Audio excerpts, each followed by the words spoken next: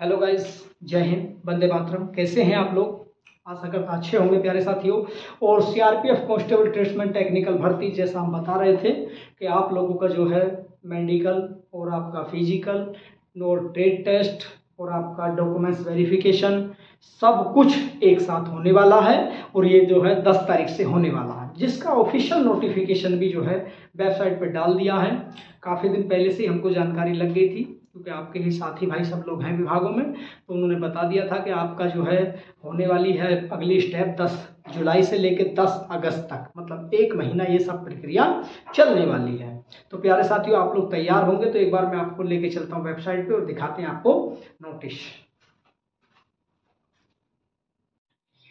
तो ये देखिए दोस्तों notice for the P S T P E T तो आपका जो है नोटिस भी आ चुका है। जैसा हम पहले से ही बता रहे थे कि आपका क्लियर हो गया है और 10 तारीख से 10 जुलाई से आपका होना है क्योंकि कैंडिडेटों से बात होती रहती है। तो यहाँ पर जो है आपका चलने वाला है दस सात दो हज़ार चौबीस से। ठीक है? कंडक्ट होगा आपका P S T P E T और ट्रेड टेस्ट डॉक्यूमेंट्स वेरिफिकेशन और डिटेल्ड मेडिकल एग्जामिनेशन देख रहे हैं? और R M E review medical examination देख रहे हैं? C B T qualified short list candidate schedule the conduct तो आप लोग देख रहे होंगे कितनी खुशखबरी है।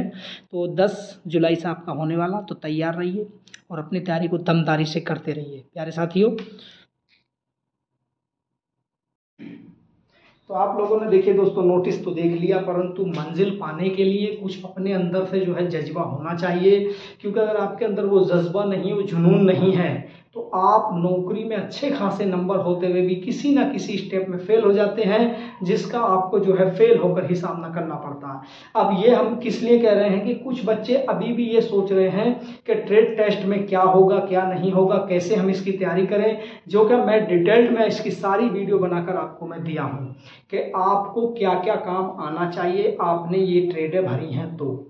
और आपके जो है अगले जो स्टेप होंगे, वो किस प्रकार से आपको होंगे? जैसे कि आपकी रनिंग है तो रनिंग आपकी कैसी है? हल्की है तो हल्की तैयारी की ज़रूरत है। हार्ड है तो हार्ड तरीके, तैयारी की ज़रूरत है। तो वहीं आपका जो है ट्रेड टेस्ट है, जिनके हल्के ट्रेड टेस्ट है तो हल्की तैयारी की आवश्यकता है। ज़्यादा हैवी ट्रेड टेस्ट होंगे तो हैवी की आवश्यकता है। परंतु आपको अपनी तरफ़ से फ़िज़िकल के लिए भी और ट्रेड टेस्ट के लिए भी बढ़िया से प्रॉपर तैयार रहना। काफ़ी बच्चों के नंबर आए हैं, काफ़ी अच्छे कैंडिडेट यहाँ पर पास हुए हैं और भर्ती भी बढ़िया है। तो इस मौके को दोस्तों हाथ से जाने ना दीजिएगा। सीआरपीएफ ने एकदम खुशखबरी दी है दी तो सही, पर लेट तो दी, परंतु दे दी सब कुछ एकदम शेड्यूल सामने है आपके। और आप लोग जो है सीआरपीएफ में सेलेक्ट होते दिखाई दे रहे हैं, बहुत ही जल्द।